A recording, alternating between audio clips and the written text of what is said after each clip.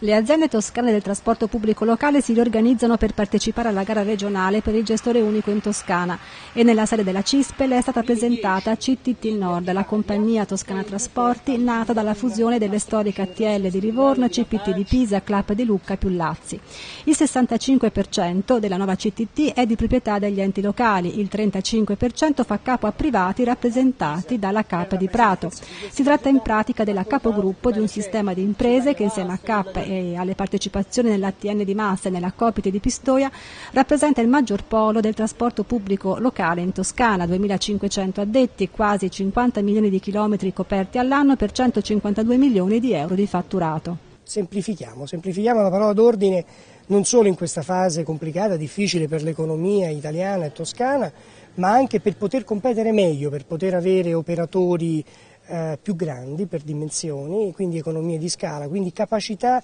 di stare sul mercato e di poter competere. L'obiettivo è battere la concorrenza delle aziende nazionali ed europee nella gara con cui la Regione individuerà fra pochi mesi il gestore unico per tutte le province. Forse abbiamo anche qualche carta in più rispetto ai nostri competitor perché conosciamo bene il territorio toscano. Fra l'altro la gara prevede che il 60% del punteggio sia sul progetto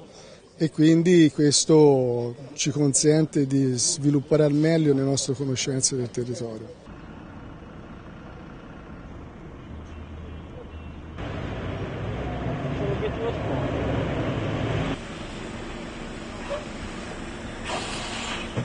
Ci sono eh, trattative in corso perché eh, CTT e eh, HTM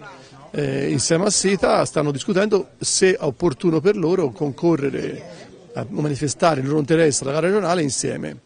C'è una discussione avviata da tempo, abbiamo fatto dei protocolli di intesa già da tempo, il lavoro è in quel solco, chiaramente per arrivare in fondo occorre ancora un po' di pazienza.